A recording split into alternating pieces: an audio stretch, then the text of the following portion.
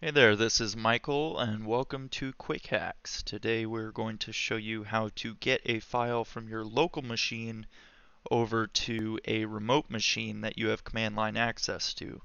Uh, this is a good solution for when you may have gotten access to a machine through something like remote code execution where you don't necessarily have SSH access where you'd be able to use that for something like SCP where you could transfer the file through SSH.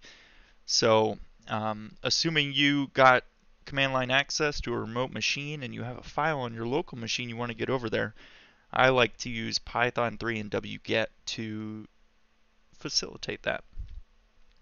So over on my local machine here, you'll see that I have a folder I've created called web server. This is a place where I like to store scripts or exploits or anything that I may want to move over to a remote machine if I get access to it.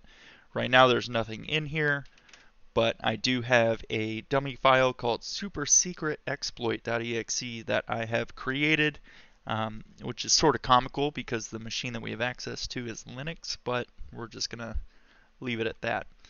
Um, so I have access to my remote machine over here. And um, over here, you'll see that I have a browser open for localhost port 8080. There's nothing on there right now. So the reason I have that open is when I run this command, python 3-m http.server, this is going to spawn a web server within this folder that I'm currently in. So it will, it will serve up any of the files that I have within this folder, namely right now just this super secret exploit.exe. If you were to run this by itself just like this, it would default to port 8000. I prefer 8080, so you can specify a port here. So I'm going to specify port 8080, and I'm going to let that run. And it says it's now serving HTTP on port 8080. So if I go to my local host, port 8080 now, you'll see supersecretexploit.exe is there waiting for me. And you'll also see the web request in the Python log here. So what I want to do is I want to get this file over to this, this remote machine.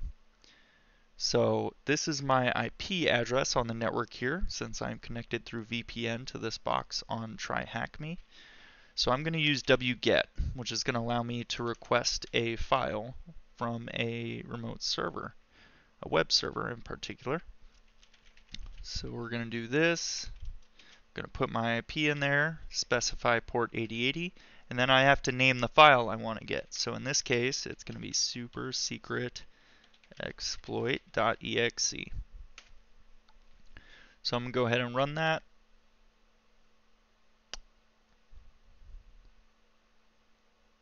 And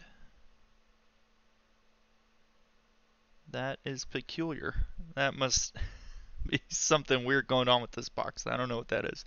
Uh, that is abnormal. I think this machine is just uh, a little bit wonky. So the request did go through. It looks like it downloaded it. I can even see the request here on my logs from the Python HTTP server. And if I do LL here, you're going to see that super secret exploit is now on my remote machine. And that's all I had to do to pull that over here.